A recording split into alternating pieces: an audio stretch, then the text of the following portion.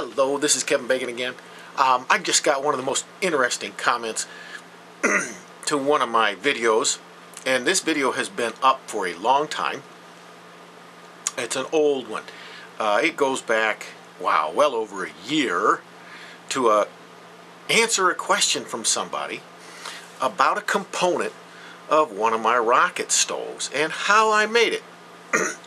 and I responded in kind and similar terminology to this fellow because to belabor uh, some points is just an absolute waste of time.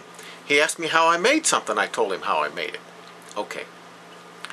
The comment that I got uh, corrected everything that I said in my video as to terminology. And I'm thinking, you know, sometimes when I'm working with people, we are speaking a different language than the technical language, perhaps, of, uh, of the research world and the scientific world.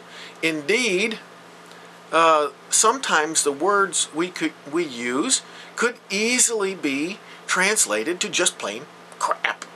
Just crap. So I'll give you an example. It was about some refractory cement. And I'm not picking on you, sir. Not at all. Um, uh, I'm just I'm just laying this out for the whole world so they'll understand where I'm coming from. Refractory cement.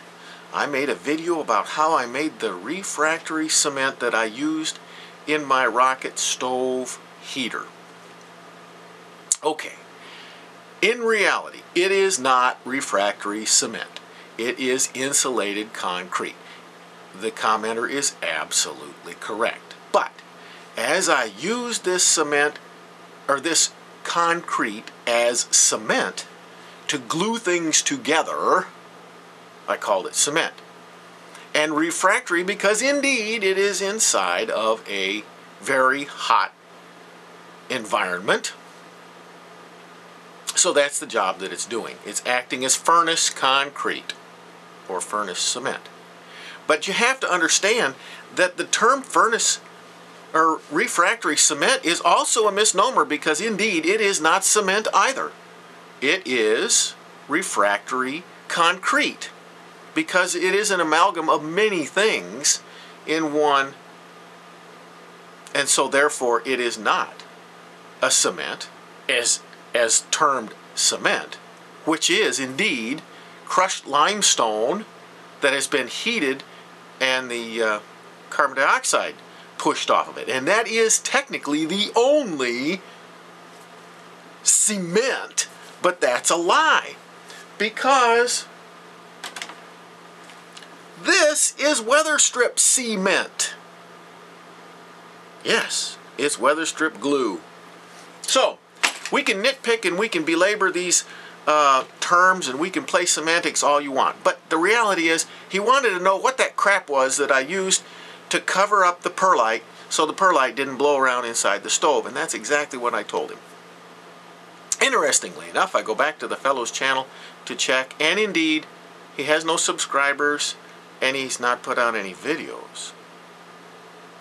Then I find that all the time. Now, sir, sir, I really uh, enjoy that kind of banter. I do. I really do. Uh, it's it's fun. It's interesting. I don't mind it a bit. My background: three and a half years as the chief executive officer, research engineer, and uh, and owner of a of a research concrete block uh, factory.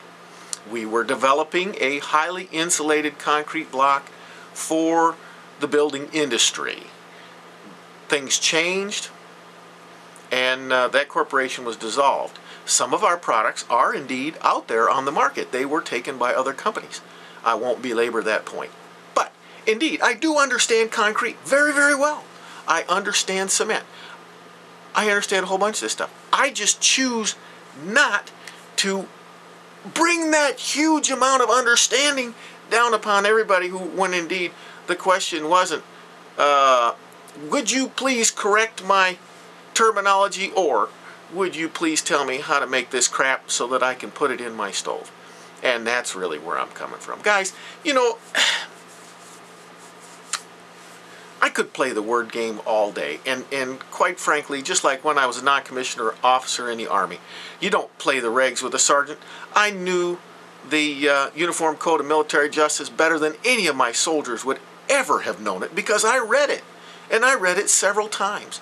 It was a rather thick book, but I went over the articles of the Uniform Code of Military Justice very carefully because, indeed, I wanted two things. I wanted to make sure that my soldiers weren't abusing those regulations and violating them, and that I wasn't violating them, that my officers above me weren't violating them, and indeed also so that my soldiers weren't being abused by someone who was misquoting those particular regulations.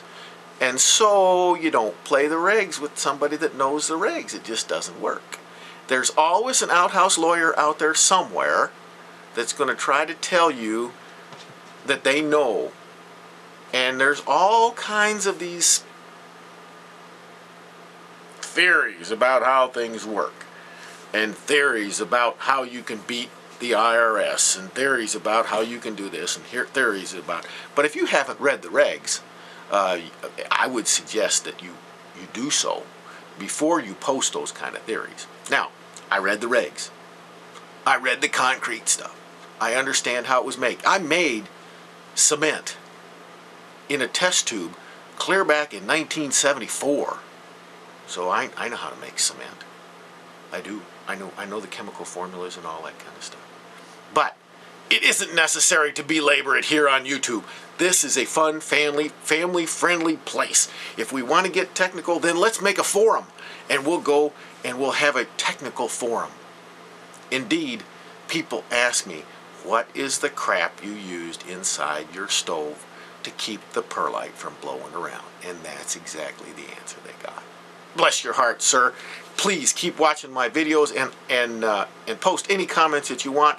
I will be thrilled to respond to every one of them. But if indeed all you're doing is watching my videos so that you can pick them apart, well, it's fun for you, but hey, Teflon, nothing sticks. It just like water off a duck's back because I do indeed understand the ramifications of everything I say.